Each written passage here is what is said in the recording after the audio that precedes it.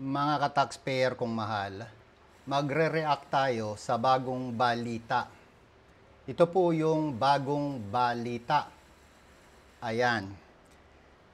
Kung natatandaan ho inyo ito, ito ho ay balita sa Channel 7 na nahuli yung mga nagpo-produce at nagpro-procure ng mga ghost receipt. Para lang ho dun sa mga hindi nakakaintindi ng ghost receipt.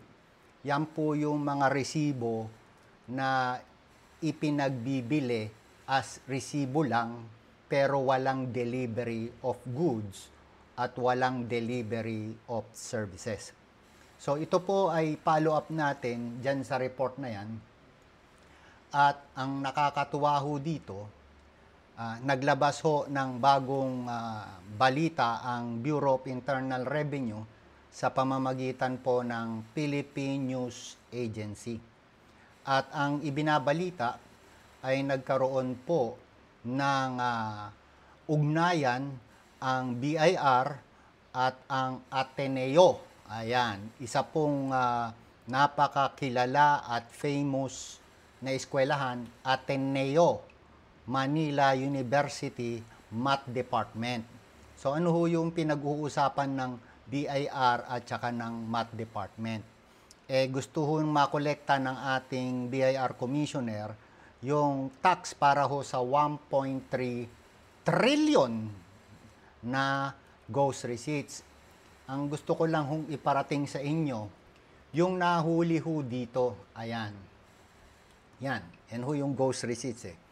So nahuli ho yan, pero ang na-compute ho is billion pesos lang, 200 or 300 billion pesos. Okay? Yung mga empleyado po ng ah, kumpanyang itong pinakikita ko ho sa inyo, ay nakasuhan ho yan. Okay, nakasuhan. Pero yung iba ho ay napawalang sala, kaya lang ho baka ulitin ho yung kaso kasi without prejudice yung ah, inilabas na resolution ng Department of Justice. So balik ho tayo dito sa bagong balita at ano ho ang e- epekto nito sa inyo. Ang ibig lang hong sabihin ho niyan, mga ka-taxpayer kong minamahal, ha, hindi lang ho itong kamp kumpanyang ito ang nahuli. Ayan, meron pa hong ibang company na nahuli. Yan. At um, napakadami hong mga company niyan. Actually ho, mga ka-taxpayer kong mahal, marami hong lumalabas na balita na napakadami niyan sa bandang Divisoria. O so mga nasa Divisoria, alam nyo na ho kung sino ho yung tinutukoy dito sa balitang ito. So gagamit na ho sila ng tinatawag nilang data analytics. Ayan po yung gagamitin nila. At yung mathematics. Ayan. So, sir, ako po ay, sabing ganun, ako po sir, mga powerful tool daw to ah. Ako po sir ay ah, nakabili. Hindi ko alam, sir, nakabili ho ako ng ghost receipts. Hindi mo pwedeng di alam. Okay? Naglabas ka ng pera pero walang na-deliver sa yung goods, eh napaka-questionable naman yun.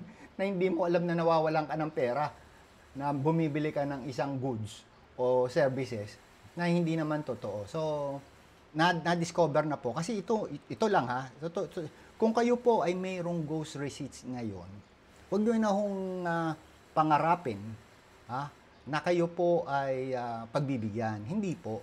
At ang ghost receipt po ay wala hong prescription period. Hanggang hindi ho kayo nakaka-receive ng LOA. Kasi ang sabi ng batas, LOA. Or ah, makareceive kayo ng notice sa BIR at sinasabi, mag-explain kayo bakit kayo may ghost receipts. Doon pa lang ho tatakbo yung inyong prescription period. At ang prescription period ay 10 years. Kasi po, mayroon kayong ah, fraudulent act. Since fraudulent act ho yan, per act ho yan. Kung, kung 10 yung resibo ho ninyo, 10 counts ho yun. Kung 30 yung resibong fake ninyo, 30 counts ho yun. So, napakadelikado ho nun. So, ang suggestion ko, pera-pera lang naman ho yan, bayaran nyo na. I-amend nyo na yung lahat ng tax returns nyo na merong ghost receipt. Eh talaga namang hindi totoo yon. So ano ho ang remedyo? Eh gawin nyo yung totoo para hindi ho kayo magkaroon ng problem. Ayan po. So mga taxpayer ko mahal, yan muna ang ah, aking sasabihin sa inyo at iniimbitahan ko kayo na maging menti ko. Ah, itatransfer ho natin yung technology natin sa Subpina Duces Tecum, Letter of Authority, Division. Eh, makikita nyo naman sa, sa harapan ko, may nag, ah, pro, naglulup na mga paalala. So, para ho sa inyong safety, ayan, mag-aral ho kayo. Ah, wala hong ah, ah, replacement sa ignorance kundi education. So, maggagawa ho tayo ng E2E. Ano ba yung E2E? Education to entrepreneur. So, gagawin natin mga entrepreneur na katulad ko, yung pong mga certified public accountants na hindi marunong magbenta ng kanilang sarili, kayo ho kasi yung produkto, kaya ako sinasabi sarili nyo.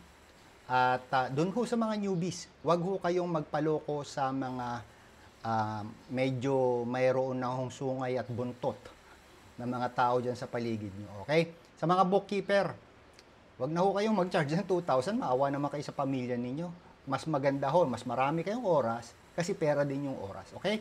Kaysa marami kayong kliyente, 2,000 lang ang isa. Baka magkasakit po kayo. So invited ho kayo dito sa ating programa na, oh, ba't nawala ho yung programa natin? Ayan, sa ating programa na ah, mentorship, greater than men- mentorship. So with that, mga taxpayer kong mahal, sundan nyo pa rin itong bidyong ito at ang ating ka-taxpayer Facebook. See you later!